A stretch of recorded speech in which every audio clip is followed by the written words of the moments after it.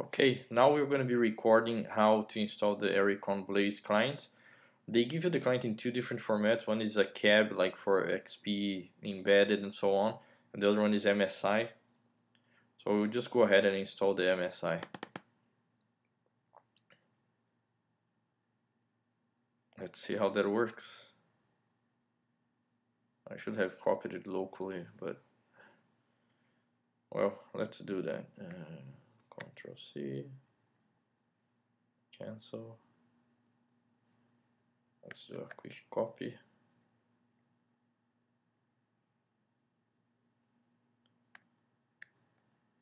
Edit, copy, and then paste.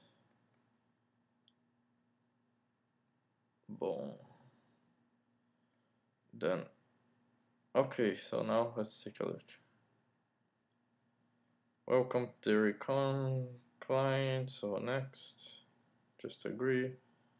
Next, everyone, next. If we want to associate the RDP file, so I'll just say no. Next, and boom, done.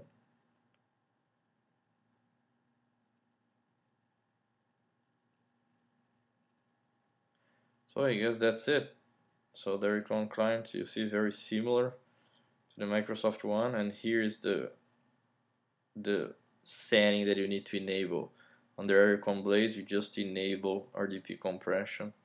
Very fast good quality. Here we leave as it is. And I guess that's it. So very simple from the client. The next step as I said we're gonna be running a couple tests and I'll show you how it performs Thanks for watching guys.